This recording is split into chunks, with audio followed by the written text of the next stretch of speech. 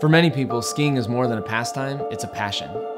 And when your body is the barrier to you experiencing that, that's where Roam comes in. The first product we're developing is a skiing device. It's going to sense what you're doing as you're going down the snow and respond accordingly. It feels like skiing, and the device is just there to help you.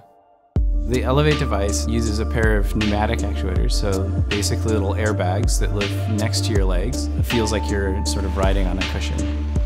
Elevate is designed to accommodate different levels and different skier styles by constantly getting feedback from the user. So it's knowing your body position, it's seeing how you're moving, and it's adjusting the response to your style and your position.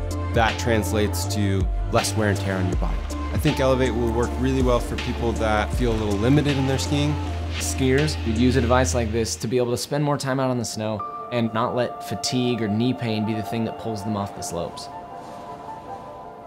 This technology, it's an opportunity to allow us to go further and live more full lives as we grow older.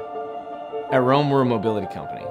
So we're a team of people who are committed to making people more mobile. Our goal is to make people go more, do more, see more.